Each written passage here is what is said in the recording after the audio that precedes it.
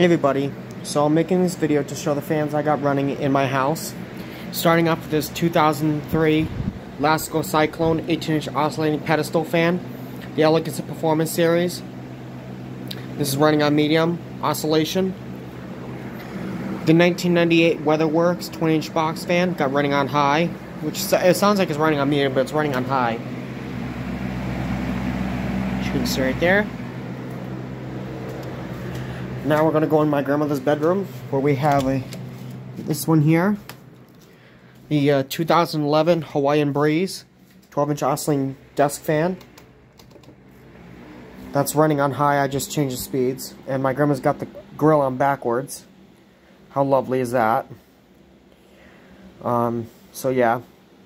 This is not a very strong fan. I got this many years ago at uh, Walmart for uh, like I don't even think I paid 12 bucks for it.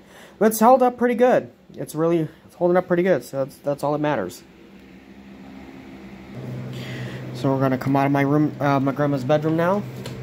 No fans running in the kitchen, because we got no ceiling fans in any of the rooms in here.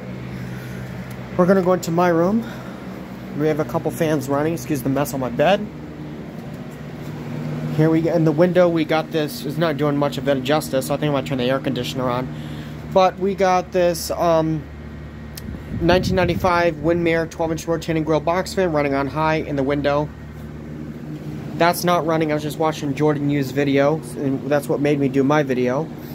Um, we got this 1997 Lasko 3723 running on high. For the record, I can turn this uh, 01, the 2001 Lasko Premium Box fans. Here we go. Got that on now. And then over here, got some fans over here.